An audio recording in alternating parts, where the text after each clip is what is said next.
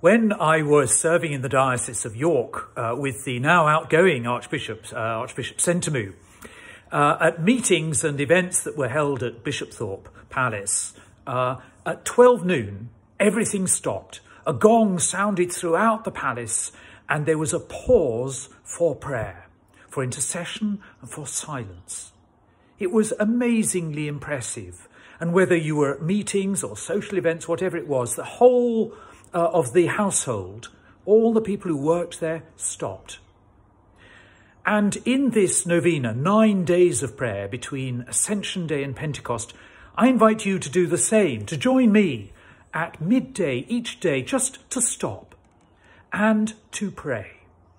Jesus taught us to pray, and one of the things he taught us in the prayer he left us was that powerful phrase, deliver us from evil. And I want us to pray, deliver us from evil, from the evils of the coronavirus, from the evils of fear and death, premature death, and from all the evils that hurt the world, injustice, the misuse of creation, the damage of relationships. Deliver us from evil, but also positively with hope and excitement to pray, Thy kingdom come.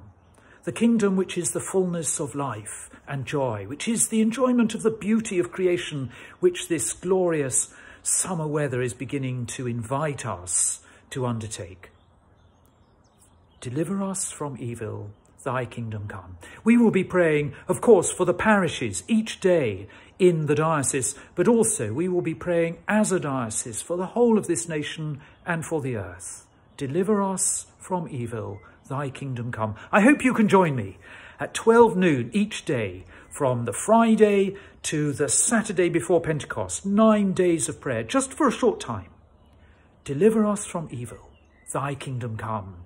Amen.